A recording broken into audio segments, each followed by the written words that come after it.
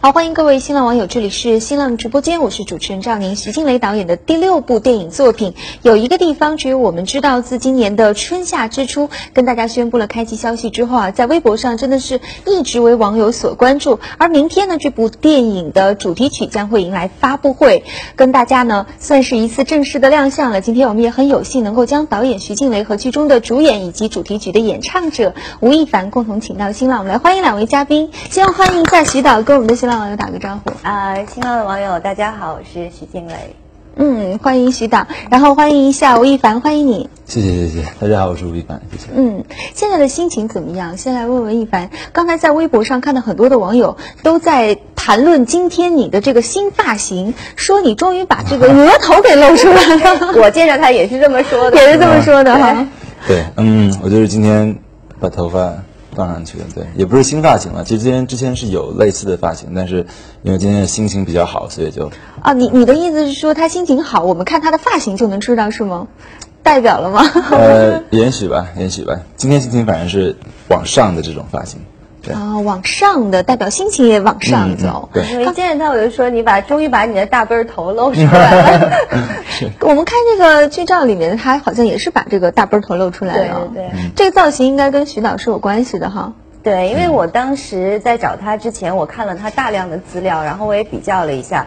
那我自己来讲，我觉得包括对角色来说，我觉得呃那种上去一些的会更。就是我觉得会更帅哦，然后不同的造型会有不同的感觉吧。嗯，所以今天先聊了聊这个一凡的这个发型，那要聊一聊明天就要跟大家见面的这支新歌了，叫《有一个地方》。对，嗯，所以我刚才要补充一下，就是一凡其实不只是唱这首歌，还是创作者，对他也是制作人，也是写歌词的人。哦对，那导演看来对一凡非常之有信心哈，将这样一个工作的。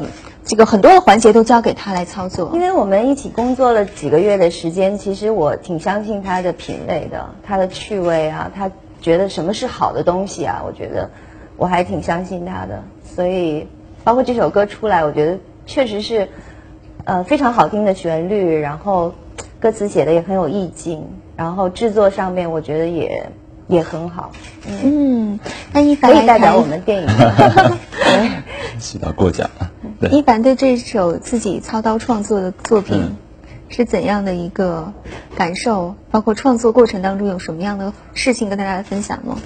我觉得第一首歌就像我的儿子一样，对，哦，这个是非常非常珍贵以及宝贵的，对。然后，因为这也是其实是我自己第一次尝试去制作，然后创作这个环节，然后也是跟我的好朋友一起，呃，完成这首歌。然后我觉得，嗯，反正我自己还是。抱有挺高的期望与期待的，然后我觉得，呃，他应该也会比较好的体现出电影的一些情绪，然后能够呃作为一首不错的主题曲，然后也希望大家会喜欢。嗯，看到这首主题曲和我们的电影是有这种呼应的意义在其中。有一个地方，我不知道在呃这个电影的片名当中，徐导你是承载了一个什么样的含义给这样一个地方呢？呃。其实，首先这首那个电影，这个电影的名字的动意是跟我自己非常喜欢的一首歌有关系，就叫呃 Somewhere Only We Know。然后我以前把它做过杜拉拉的代替音乐，然后现在还有人说看到那个盗版，就是我没没完成的版版本的时候，还是那个代替音乐在上面。然后后来我想这个新电影的时候，我就想到这首歌，然后包括故事，我觉得也有很好的一个结合点，所以我就把它翻译成有一个地方。只有我们知道。那我觉得这个地方其实既是一个很抽象的，也是一个很具具体的。它可以是一个具体的地方，其实也可以是我们心里的某一个地方，就是我们心里的呃恋人之间，包括甚至朋友、家人之间，我们心里只有我们知道的一个。嗯，一个共同的地方，或者说给我们感受非常深刻的一个地方。嗯，所以在最早还没有这部电影之前，对这首歌仅仅是这样一个歌名就已经打动你了。我相信一定承载了你自己的感情经历吧？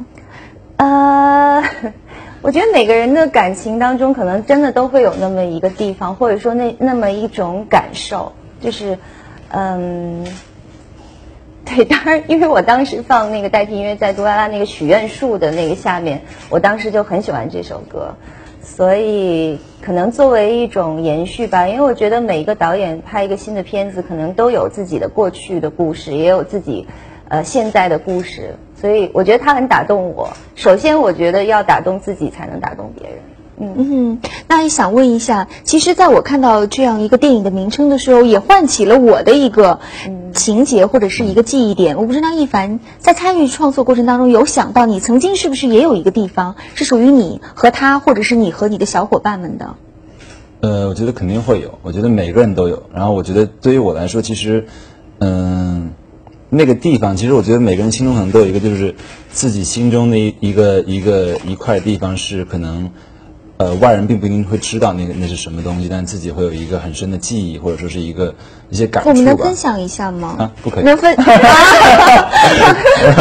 没有没有，不是，就是我觉得每个人都不一样。对，对于我来说肯定会有，比如说跟我的好朋友，我们一起可能小的时候也许，呃，比如说一起打球，比如说一起创作音乐，一起喜欢的东西，一起做的事情，都可以是我心中的一个地方。都都可以是，对，嗯，就好像我们平时，呃，怎么了？两个人相视一笑，看来有秘密在他们中间。这个没有，本来是说我提问题嘛，所以我准备了一堆八卦问题啊。我说一凡你要小心了啊。但是，嗯，徐导，我们在这里说我太八卦了，不让我问问题了。徐导，那我这里真的是有一个不情之请，我们将这个地方。交给我们，请徐静蕾来暂时没没有来做一下主持人，真的非常的，我非常的好奇，或者是说我们所有今天这个在观看我们直播的朋友也很好奇，因为很想知道导演会跟吴亦凡当他们面对面去交流的时候，你会提什么样的问题？在那么几个月的共同工作当中，我相信您一定有了很多新的角度去认识他，好吗？我们把这个时间赶紧交给徐导。一凡，来来来，您的那个眼神 向您的右边看。这真的好吗？当然好，我们真的来来来，徐导。主要不是我要问那些问题，是有很多人托我问很多问题。嗯，比如说初恋呐，初吻呐，啊啊，初夜啊。哎，这个问题非常好，来，一凡能回答一下吗？啊，我先喝，没有。啊，你先喝喝一水可以。不不不喝了，不喝了，不喝了，没有我我我我对。我我我。我很开心今天那个大家好，我是吴亦凡。然后，呃，对于这个来说，我觉得，我觉得它还是一个只有我们只有我知道的地方，就是它还是一个对于我来说是一个我的一个嗯。一份一个记忆吧，因为都是初什么嘛，都是第一第一次的一些东西嘛。我觉得，可能对于我来说是，呃。那比如说初恋是什么时候呢？啊？呃，不记得。嗯。一定要这样吗？这样真的好吗？哎，这是导演，我们要尊重导演，同时对吧？不是我啊，是你的粉丝都说很想知道。对，真的是。对，还有包括他们想知道你是不是裸睡。啊？啊，不是这个肯定不是，这个不是这个我我啊，所以啊，你回答了一个问题，就是你不是裸睡，对，我们记下来了，不裸睡。所以你穿的多吗？睡就是你会穿睡衣还是只穿内裤这种？啊，我我会穿睡衣。你会就是上衣也会有对吗？都会整整齐齐的那种睡衣吗？我觉得看情况吧。看情况，什么情况下你就是，比如说天气热，咱们可能就对吧？就不就就不就可能就把那个上衣可能就就脱了。呃，天气冷的话，可能就。穿多点衣服睡觉。嗯，所以你的初恋是在你的中学吗？啊，没有初恋，没有啊，小学呀，没有，太早了吧？幼儿园呢？哎，不是不是，哎，对我，对我幼儿园的时候，对，那幼儿园，幼儿园的时候，我特别喜欢一个一个一个小朋友，对我跟他说，我说长大以后，如果我们还在一起的话，我就娶你。那那时候那时候我大概三四四五岁吧。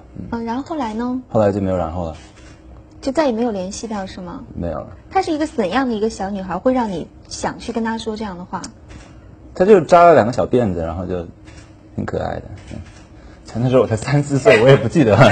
但真的是有有这样的情况了。我是觉得那个东西是是一个特别纯洁的一个东西，特别一个那个在内心深处的一份我自己呃想要保留的东西吧。所以其实对谁我都不会说了。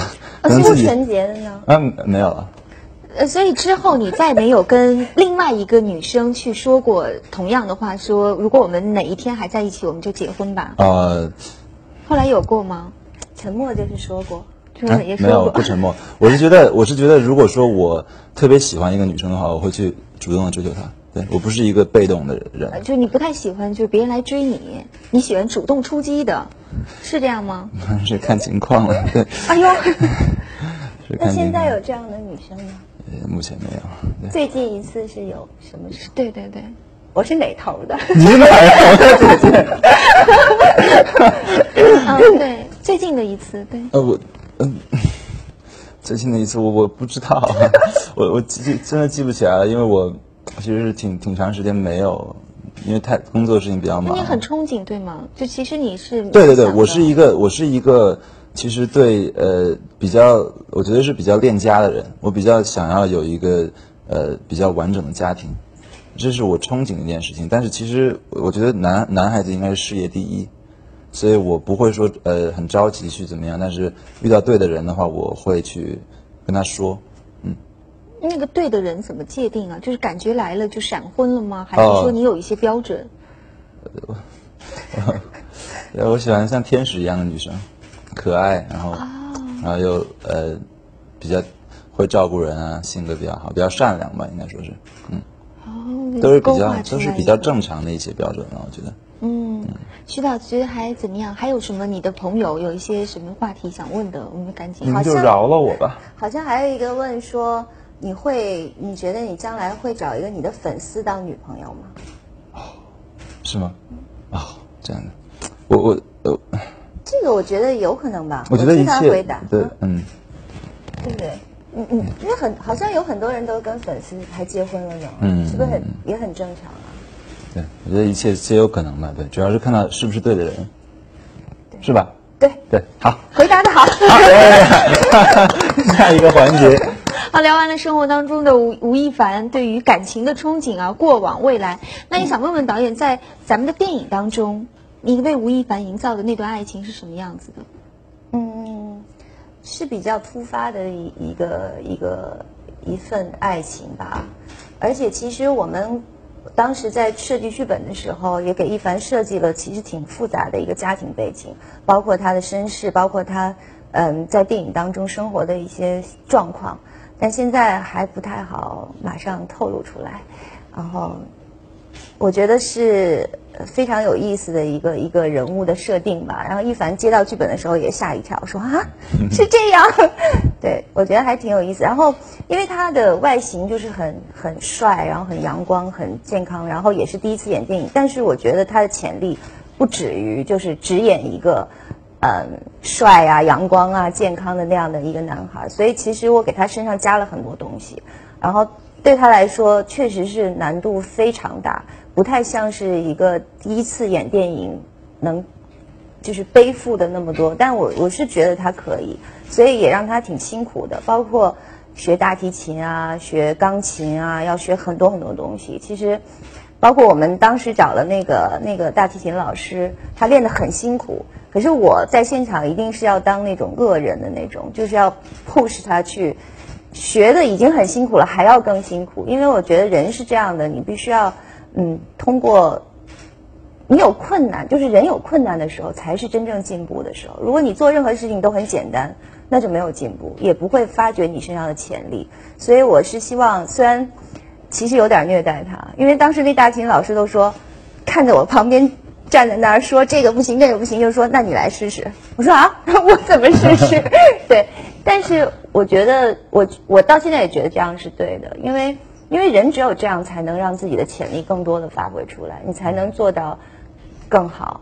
对，嗯，所以嗯，感觉是很有意思的一个过程，因为我本身也是第一次我自己导的电影没有主演，那把更多的心思的其实都是放在他们身上，对，包括当时会上一些台词课呀，然后那个时候布拉格的一个大楼里经常传来吴亦凡同学朗朗的读书声，全楼的人都能听得见，一会儿是嗯。古诗词，一会儿是毛主席诗词，因为我当时觉得应该让他念一些比较豪放的那种东西，就是呃，不仅是念一些像《背影》这种朱自清的那种散文，也要念一些很豪放的那种，让他整个人放放开来、舒展开来。对，其实是现在回想起来是一段其实挺有意思，包括他们在试戏。然后我有一天翻出他们那个在试戏的那个视频，都觉得很有意思。其实可能一凡你今天看也还是觉得是最近的事情，可是再过很多年回头看，我觉得那个都是非常宝贵、宝贵的一个资料，对于你的成长过程当中来说。我们来听一听一凡，你回忆一下那段时间你的课程安排，你的每天都是怎样度过的？啊，我嘛，我就其实唉，也不是很难了，其实还挺轻松的，就是早上起床上课，然后上完课之后再再都上些什么课？就每天都有大提大提琴课、钢琴课、台词课，哈，是吗？是是，不是每天了，也也不会那么的残酷不会那么密集，对。但是可能就是准备的时间之内是比较，比如一个礼拜两三节提琴课，然后可能呃读剧本的时间会比较多，台词的时间会比较多，读诗歌的时间是经常的，对。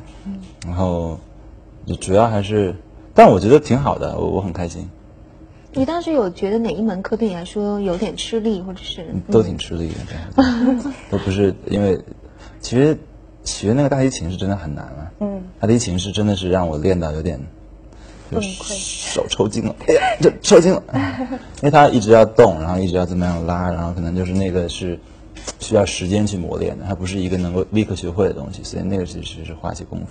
那刚才徐导说他特别让你去读一些有豪放情怀的一些这样的古诗词，你觉得对你来说是真的会是呃就是整个性格或者是某些方面发生了改变吗？通过这样的训练，会啊，我变了，我变成现在现在的吴亦凡，对。你你你你能跟我们更更形象一点去表达这种改变吗？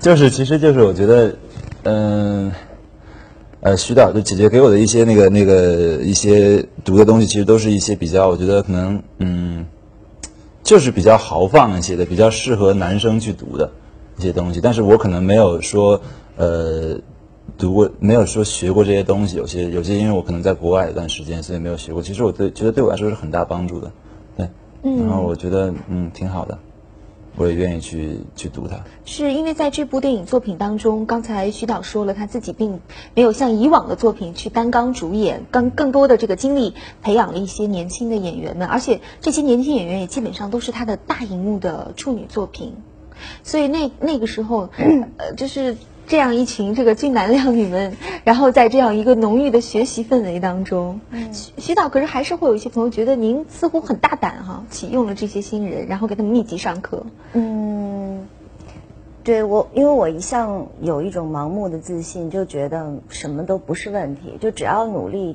什么都不是问题。这是我不知道，可能是从小我爸爸灌输给我，就是世上无难事，只怕有心人。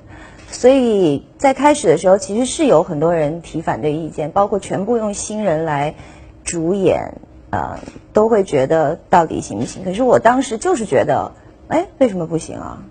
当然，在过程当中还是会有就是挺难的时候，尤其是一两个人在现场演戏的时候没关系，然 后一堆人全上去的时候，我我真的也有点傻，就是也会有一点顾不上。但我觉得他们都很争气，就是很聪明，也很努力。就是像一凡真的真的是很努力，啊，张超也非常的努力，就是因为我我觉得是这样啊，就是说其实尽力了就够了，结果怎么样，有的时候是跟能力、天赋或者是天时地利人和很多东西都有关系的。那我觉得他们都尽力了，包括我自己，我觉得我也尽力了。那目前看来呢，其实效果还是挺好的。当然了，永远都可以更好，那就那就下部戏，嗯，再更好。那这次刚才您点评了剧中两位男主角哈，那另外两位女生呢？你怎么去挑选他们来？嗯，其实我这次选的所有的人，我觉得都是我有一个唯一的有一个标准，就是我觉得希望他们都是特别干干净净，就是不是很脂粉气的那种感觉。包括我见到王丽坤、见到热依扎，其实都是这种感觉，我觉得很干净、很清新。因为我们在娱乐圈看到太多的涂脂抹粉，其实我个人来说是很不喜欢那种、那种、那种东西，而且我觉得电影其实还是应该更。嗯，怎么说更接近生活，更像人类，而而尤其是我们这种类型的电影，并不是一个，呃，大家都要花那种花枝招展，而是真是生活在生活当中的一个人物，对，对，所以对两个女演员的看法，你应该问一凡。嗯，嗯，一凡，来跟我们来分享一下你跟这两位女演员合作的感受来。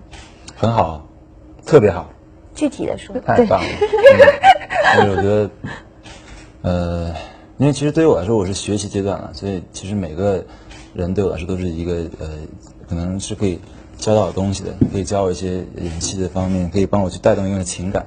所以我觉得，嗯，因为我跟呃王一坤的对手戏比较多，所以其实他是在情绪上是给我给到我很多的帮助的，可以让我去更加容易去投入这个角色。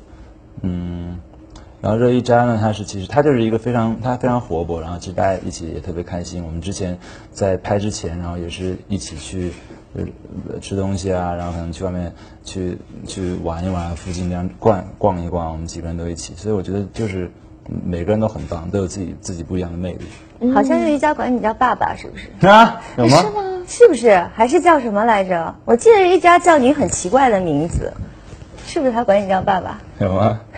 因为 是因为我老了吗？是因为我像爸爸吗？是有这样的称呼吗？他的呃，好像是，因为我们都叫他吴成熟嘛，对，因为我是不是？确实是，因为他老说他自己特别成熟，然后我们说好吧，那就叫吴成熟好了。对。那你们在片场叫徐导叫什么？我叫是他我叫徐导，叫姐姐啊，叫姐姐。我叫姐姐，对，那我是，哎，应该叫导演，对不起。没有啊，想这个真是。对对对，是，嗯，那我问一下这个徐导，那这这部电影当中，您的曾经运用的这个黄立行没有出现，那是因为你没有主演，所以就没有选择他吗？谁说他没出现？只是还没有告诉大家他有出现。啊、对，所以他也参演了这部作品。对手戏的人坐在这儿，嗯，能哎说一说吗？啊，对啊，就说话要小心哈。特别的棒，然后真的是，你你你看，你这个 然后呃说，细节啊，演戏都可以教到我很多东西，我可以学习的榜比如样。说呢？就是就是，因为这次又不一样，我们是男演员嘛，所以其实跟女演员可能又不又不大一样，因为呃，男人跟男人之间的东西其实是更加去能够有共鸣的，我觉得是，所以他呃当时也是，就是给了我很多帮助。那所以你称呼他是叫？我我我称呼他我我应该怎么样称呼呢？我觉得我应该会叫就哥哥吧，嗯。哦。对，哦，我我如果说我以为你会叫姐夫，会不会被打？姐夫是什么？我就叫哥哥了，对，我就叫哥哥，对，嗯，我就这么称呼一般。所以这部作品其实到现在我们知道，基本上拍摄的部分已经杀青了，对，然后锁定的是在明年的情人节，对，明年的情人节。对这样一个特殊的这个档期，因为我们知道今呃这个新的一年的情人节其实和贺岁档连得非常的紧密，嗯，导演是早就锁定了这个档期，会有什么样的期望啊？因为我这个电影真的就是一个纯粹的爱情片，而且是一个很美好、非常感人的一个爱情片，所以我觉得放在其他任何档期都不合适。所以虽然今年的情人呃今年情人节档跟往年有点不一样，跟春节档会有点接近。那我们当然戏里面有很多家庭啊生活，只不过是我们现在还没有往外透露出这些这些的信息。然后另外我是这种，我既然决定了是这里，就像那年亲密敌人的时候，谁来了我也不走，就是既然决定这儿，我们就就是站在这儿，谁来谁来了我们也不怕。对，所以就是，而且我觉得目前来看，呃，那些片子我觉得最适合情人节的就是我们这个电影，因为真的我们是一个纯粹的爱情片，就是很有爱的一个电影。嗯嗯，我之前也看了一些这个访问当中，您提到希望观众走出影院的时候是非常温暖的，是带有感恩的、感激的一颗心的。对，因为我自己看过类似这样的电影，看完以后你就觉得世界充满了爱。虽然这话说着很肉麻，但是我非常，我出了电影院以后，我很感激观众给我这种心情，对不？导演带给我这种心情。包括我还看过一个电影，看完电影情侣都站起来接吻，就是会觉得很珍惜对方。那我觉得。我当然，首先是我很感谢那个导演，他给我带来这么很美好的感受。另外，我希望我如果拍一个爱情的电影，也能给大家带来这样感受，就是你出了电影院之后，不是觉得哇好黑暗呢，而是觉得就是世界很美好。你看旁边所有的人都是善意的，情感是多么美好的一件事情。嗯，那说到这次您这个邀请这个吴亦凡来做这个主演哈，嗯他我们都知道他在网络上拥有超高的这个人气，对您是否也相信这样一个超高的人气会直接转化成为电影的票房力量？呃，我首先相信他是一个非常有潜质的、非常优秀的一个演艺方面的人才，因为，嗯，他有很多的粉丝，但是我相信他会有会有更多的粉丝，而不只是，可能以前他在那个韩国的那个团体，他可能有韩流的粉丝。那我相信，其实姐姐也会喜欢他，阿姨也会喜欢他，奶奶、爷爷奶奶也会喜欢他。我其实最重要的，我觉得我是看中他这一点，我觉得他。不仅仅于现在这样，他有未来非常大的空间，而且会走得很远。嗯，对，确实多年来，我觉得你就很难碰到。其实我跟一凡后来都说过，就是如果他当时有问题来不了，这戏我不拍了。哇，当时我都说过这样的话，对不对？就是因为，因为其实可能平时你看很多很多演员，可是你真正赋予。在他身上，你自己的角色的时候，你就会觉得我要找到最合适的。所以当时最喜欢的是你的这个不不二的人选。是的，是的，对。所以我就觉得，我觉得他可以，而且是最好的人选。因为否则的话，像我，我已经退休两年了，我为什么？我跟他也说过同样的话，我为什么一定要拍一个电影？我一定要觉得各方面我都满意，我才要拍这个电影。不然的话，我生活挺好的，对我天天晒着太阳。涂着指甲油，看着电影，挺开心的。所以，我我既然要做，我就希望做到让我自己各方面都最满意，所以我才会做。不然我就继续放假。对，那一凡是，这算是，我相信您应该也有很多的电影邀约吧？在这个过程当中，有吗？呃。其实那个时候还并不是说很多，所以接到徐导的这份邀请的时候，你当时是自己也非常有意愿向大荧幕上发展，还是被他的这个，呃，所就是本身的这个导演魅力所吸引？啊，导演魅力是一定是非常大的吸引力的，但是主要也是，当然还有个原因，是因为我也非常喜欢演戏，我想成为一个演员，所以我觉得徐导对我是知遇之恩了，对，就是呃有给我这个机会，然后特别的合拍，然后我也是。呃，真的特别开心。那通过这一次的演出，献出了你大荧幕上的第一次的表现，你自己觉得呢？你会对自己作为一个演员是更有信心了，更了解演戏这个这样一个工作了？因为我还没看，所以我不知道。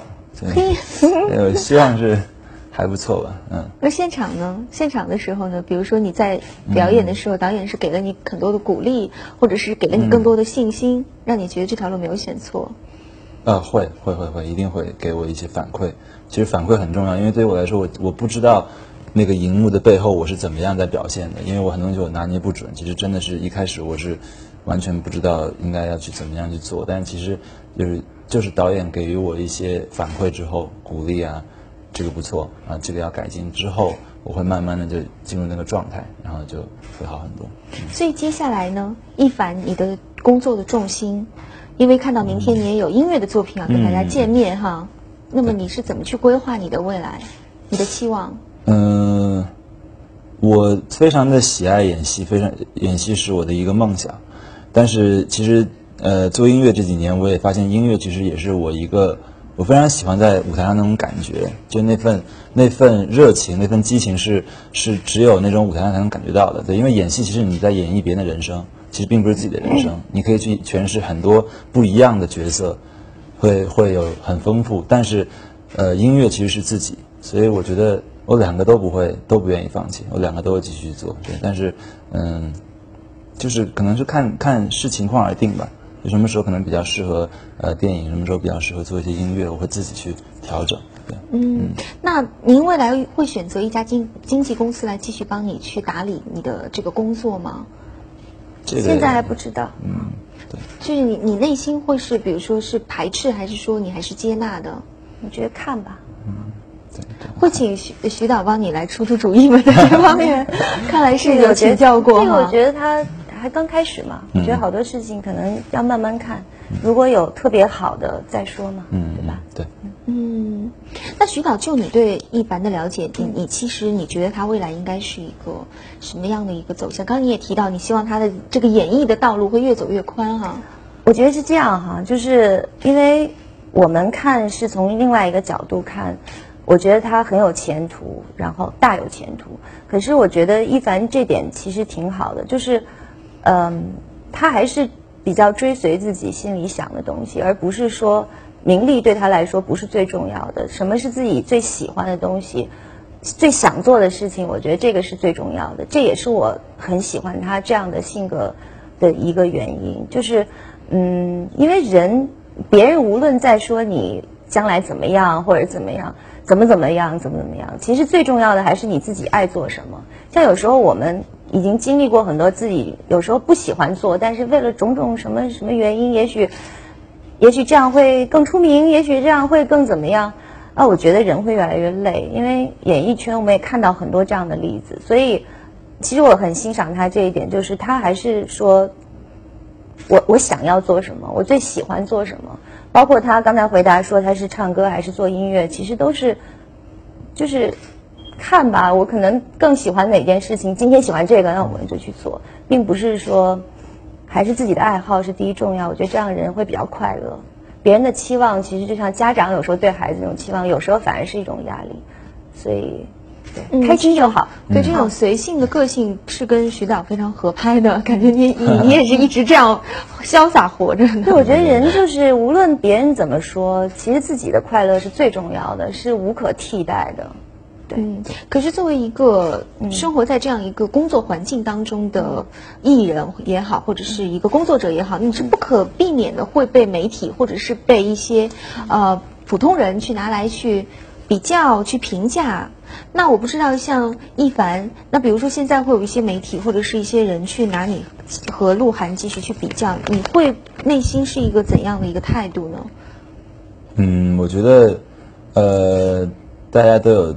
自己的魅力跟特点，对，这完全是看大家的选择。你们还有联系吗？我们吗？嗯，这个，呃，我就不方便透露。对，嗯，说到明天这个 MV 跟大家见面呢，我们在这里也有一个呃 video，嗯，可以跟大家来。哦，没有了啊，不好意思，那可能要到现场，可能看到会有一些朋友给你的一些祝福。嗯，那在这里，今天我们提前呢，也在微博上征集了很多喜爱吴亦凡的粉丝的一些提问。我们来看一下那题啊，在这儿呢。嗨，看我这，请那个一凡，你可以随便挑几个来回答一下好吗？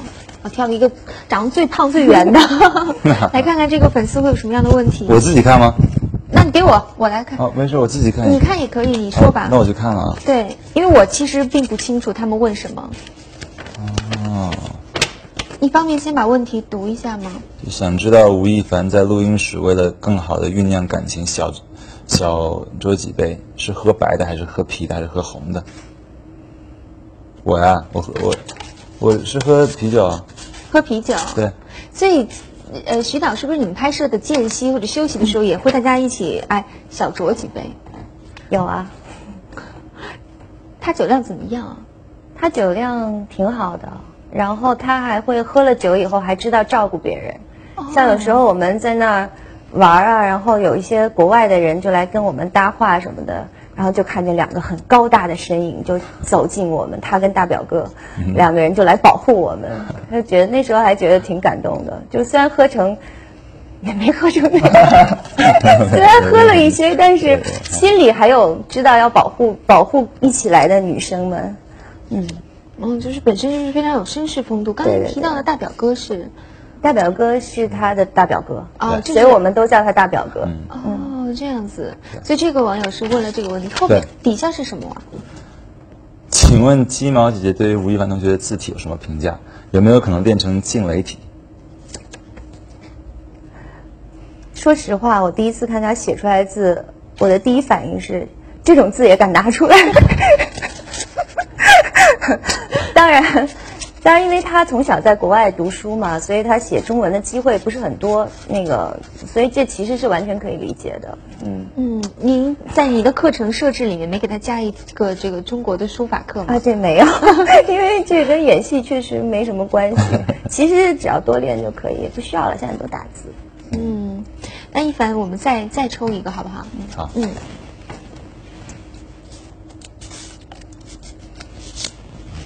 还是你们读吧。啊，好，我来。好的，同样是，哦，这个是凡凡讲一下初恋是怎么样的啊？我不是讲过了吗？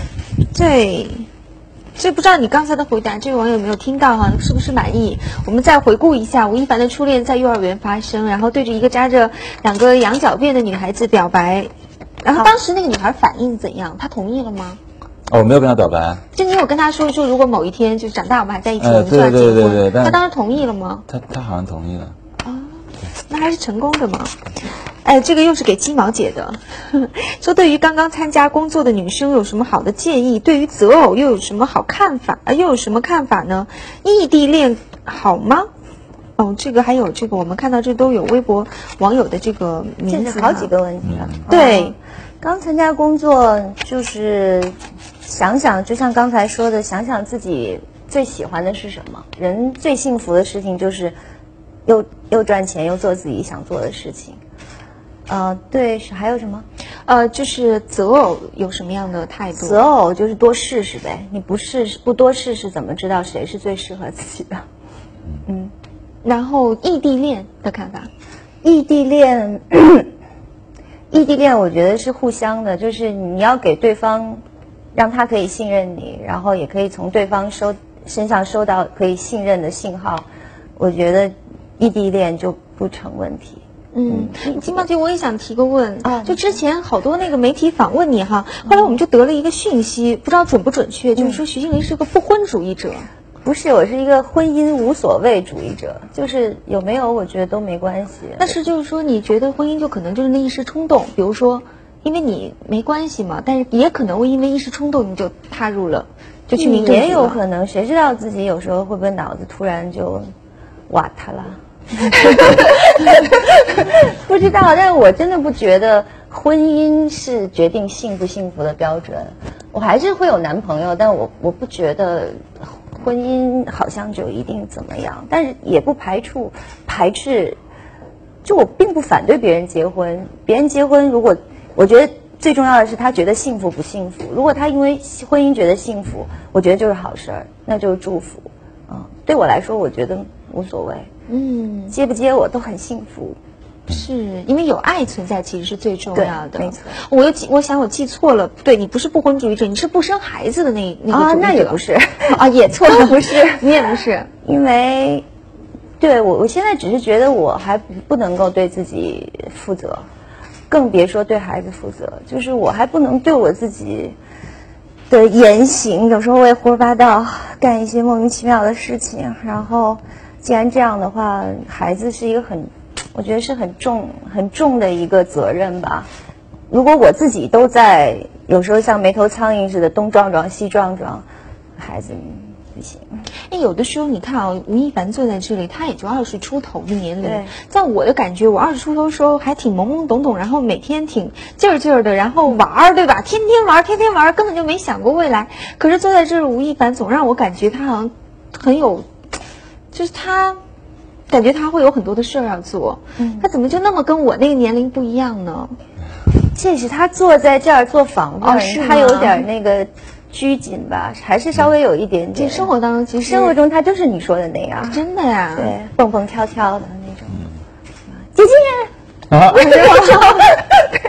对，是有时候你也会就是贪吃吗？对，我是非常喜欢吃东西。我怎么听说在拍的时候，好像导演是对你有饮食要求的？就就是因为我很喜欢吃，所以最后就被被县文下了一个禁止令，不能吃东西了。对，人说小胖墩儿不要吃了。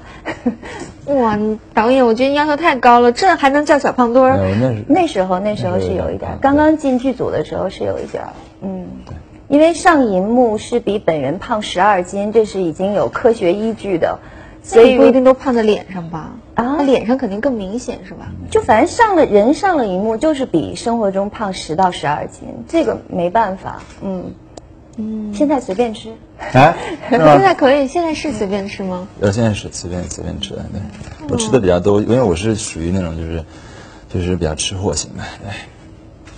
我很我很喜欢吃东西，我很能吃的，你是喜欢吃甜的？我什么都能吃。坐在那个查理大桥上，夜里三点吃了一桶那个鸡翅，对，炸鸡翅。是吧？是是不是已经拍摄差不多了？它可以放开了哎？是拍之前，拍之前，对，拍之前我们最后一次的放纵。对，就是拍之前我们去做那个叫什么 team building 嘛，啊，是吧？对对对对，然后大家我那个印象挺深的哈。对坐在查理大桥半夜，然后捧着一桶，坐在那个桥墩子上，对，在吃。这一桶得有多少啊？就是跟国内的差不多，就是一一大桶这么大吧？炸鸡翅。嗯，那我们节约时间，最后一个，我们来看看是哪个网友。我我来选。好，我们这次把网友名字给说出来啊，这个叫白菜不爱鱼，这位网友的名字，白菜小哥。哎，您这个新门哈，白菜小哥，您的首支原创歌曲有一个地方的创作灵感有哪些？呃，灵感主要来源于电影了，还是对？因为我当时在布拉格的时候就有已经有想过这个，呃，主题歌的一些构造，然后当时也是觉得那要跟这个电影的氛围格调搭才行，所以它一定不是一首比较传统的国内的呃抒情歌曲，它是应该是风格是会特别一些，但暂时先不公布。是 然后还有就是，它它的内容上应该也是要跟电影有一些连接的，有一些共鸣感的，然后整个氛围的烘托是能够让别人联想到电影，想要看电影，就这样。对，也想问一下徐导，那 MV 将会在稍后跟大家见面吗对？那 MV 是所用的是我们的电影的部分的片段，还是重拍的？有两部分，一部分是他拍唱的部分，嗯就是然后另外一部分是电影的那个画面，也是我们算是电影画面第一次正式露出吧，嗯、所以大家也比较重视这件事情，所以还是希望做得更好一些再拿出来，大概也最晚我觉得过不了一个星期吧。嗯，那下面这个问题来自于这些都是我给你的爱。他说：“老徐啊，你在离开大家视野两年多之后，突然这么大动作，启用新人拍了这样一部充满荷尔蒙气息的电影，是因为你两年里经历了什么事儿，让你感到特幸福吧？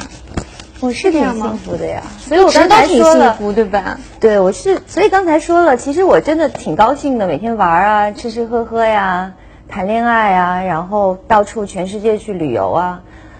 但是我就觉得我很想拍一个很有爱的电影，因为这也是我希望把我自己就是在我的通过我的朋友、我的家人身上感受到的那些东西，也能传递给观众。嗯。嗯，所以我休息两年出来，第一个想的就是要拍一个关于爱的电影，然后后面可能要再拍的话，就会拍一些我觉得我以前没拍过的，或者是好玩的那种电影。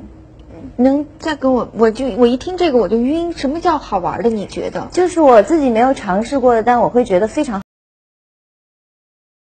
好玩的那种电影会是什么。我已经开始在做做剧本的设计了，我觉得会非常有意思。嗯，但是现在不能简单的用某一个大的题材类型去太早了，太早了，对。能理解。那在布拉格的时候，像一凡的那边是不是也挺多粉丝的？有，而且一凡的粉丝是全世界的。一凡，我们拍戏其实有一个镜头里面就有他粉丝坐在旁边，真的，而且是各种金发碧眼的漂亮粉丝，真的真的很多很多女孩都挺漂亮的，所以当时说。那个当然不一定一定漂亮才能当女朋友哈，但是啊，你们当时还刚他挑来着是吗？没有，当时我们说，哇，你的粉丝都怎么都挺漂亮，好多外国女孩都长得很漂亮，中国的女孩也都挺漂亮，而且都在楼下等着，然后送就是很客气给剧组的人送礼物啊什么的，所以我觉得他真的不排除有可能将来会找一个粉丝做女朋友，对不对？你有跟某些粉丝有特别亲近的交往吗？现在还没有，嗯，你有一这个嗯嗯现在还没有。呃，因为大家都都是对于我来说都是，呃，因为有很多的歌迷朋友们，不可能每可能有些时候不不一定每个都能照顾得到，所以我是希望能够给大家都是比较一样的一些一些回馈。你有遇到一些比较疯狂的粉丝的行为，让你有点惊讶？嗯你觉得就是，比如说，其实，在布拉格拍戏的时候，因为其实，呃，挺远的嘛，毕竟要出国，要到国外去，然后可能一些国内的粉丝也许会去那边去看我，然后我觉得这些都是都是，呃，就是给给予我很大的支持。对，当然我觉得还是呃不要太不要用太多的时间了，还是自己的事情要，就是给歌迷朋友说的话，就是他们自己也是需要呃过好自己的生活。对，嗯，对，支持我的作品就好了。嗯嗯。是，那今天呢，两位来做客新浪，我们新浪娱乐也特别有礼物要送给他们，在这里呢也提前的预祝徐静蕾导演的这部作品有一个地方只有我们知道，在明年的情人节档期跟大家见面，然后能够票房大卖，好吗？谢谢。谢，我们来送上礼物，我们来请我们的新浪娱乐的美女姑娘哈，哎谢嗨谢。谢谢谢谢谢谢谢谢。来谢哦谢。谢谢谢谢。也这里也顺顺祝明天过生日的吴亦凡，在这里祝你生日快乐，生日快乐，谢谢生日快乐。好，然后，呃，在这里再次的感谢你们，谢谢，谢谢，好，谢谢谢谢谢谢。谢谢。同时感谢我们所有在收看我们直播的网友朋友们，谢谢你们，也同时感谢一名造型。那个，我们拿一个刀，我们在这拍张照片吧。这真的是个蛋这个糕啊，真的是个蛋糕，是这个生日快乐我以为是假的呢。对，这个就，这是一个意思嘛？谢谢。